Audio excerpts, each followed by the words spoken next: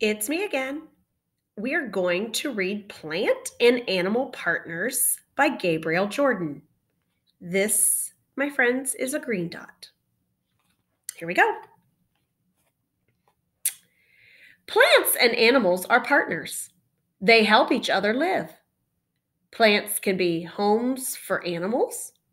Many animals live in trees. Birds build nests in branches.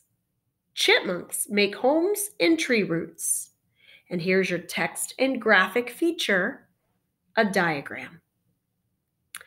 Plants help keep animals safe. A rabbit can hide in tall grass. A bug can hide on a leaf. A deer can hide near the trees in a forest. Plants can also keep animals dry. Some birds sit under leaves during a storm. Then the rain will not soak their feathers. Butterflies hide under leaves when it rains. They do not want to get rain on their wings.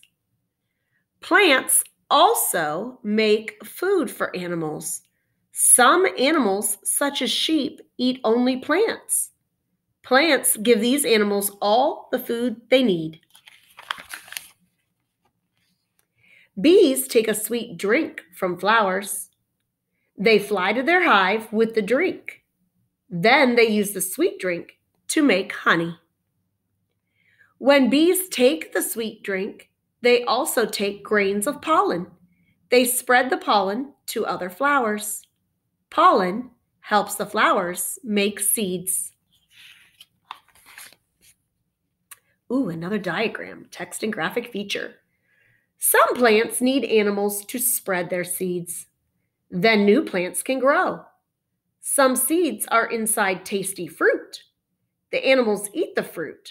Then they drop the seeds on the ground. Squirrels dig holes for acorns. They plan to come back and eat them later. Sometimes they forget. Then the acorns grow into trees. Animals can't live without plants. Plants can't live without animals.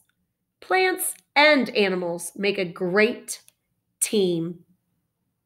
All right, grab your sheet and begin answering your question.